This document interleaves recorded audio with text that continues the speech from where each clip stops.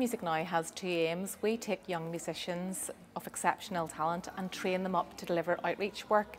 So we were delighted to get the funding through the Arts Council's Arts and Older People's programme.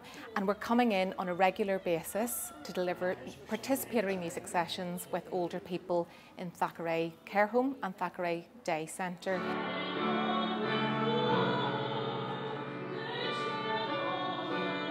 What's been lovely is this project has been inspired directly by the older people themselves who were really keen to share the musical heritage of the local area. Well, I enjoy the singing and meeting with different people.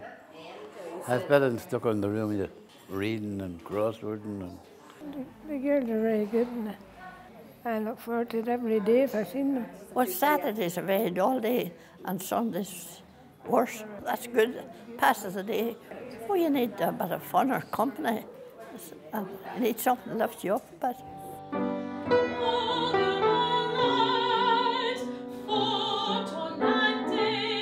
Well, we've learned loads from doing this. You know, I'm performing and, and I can see from each one of them how they're interacting with that. And the good thing is it's been every week. It's been for the past five or six weeks now.